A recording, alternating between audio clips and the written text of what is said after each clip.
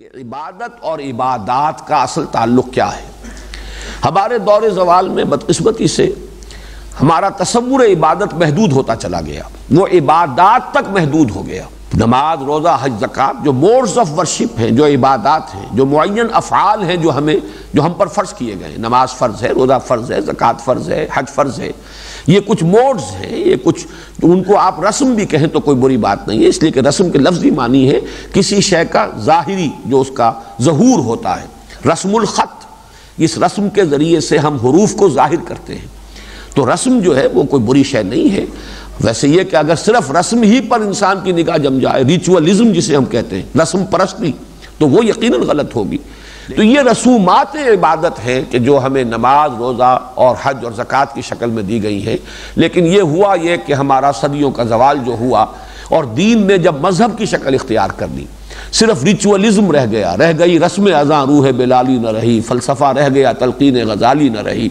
तो फिर सिर्फ़ इन्हीं चीज़ों तक इबादत का तस्वुर महदूद हो गया। इबादत से मुराद है पूरी ज़िंदगी में अल्लाह की बंदगी और इतात ये उसका एक लाजमी हिस्सा है। और ना तो दर हकीकत एक तनाकुज़ है, फिर तजाद है कि नमाज़ में हम खड़े हों तो अल्लाह की बंदगी कर रहे हैं। और जब नमाज़ से फारिग हो जाए तो फिर अब अपनी मनमानी, अपने नफ्स परस्ती अपने माशरे का जो चलन है या जो भी जो भी सिक्का रवा है, अब हम उसकी इतात शुरू कर दें, उसकी पैरवी करें।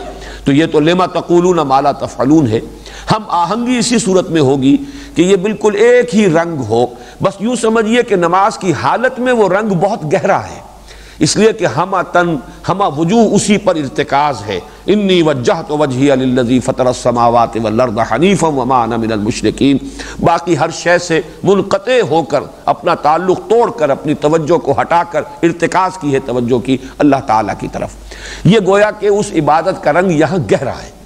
बाकी ये कि इसके साथ हम आहंगी होनी चाहिए। इसी रंग में रंगी हुई पूरी ज़िंदगी, इसी रंग में रंगा हुआ पूरा इंसान का बिहेवियर पूरा तर्ज अमल, सारे मामलात अगर नहीं है तो ये तनाकुज़ है। यही फिर मुनाफ़त की तरफ़ इंसान को ले जाने वाली शय है। इस एतबार से ये तस्वुर इबादत जो है, मैं समझता हूँ कि अब बहुत हद तक लोगों के सामने आ चुका है।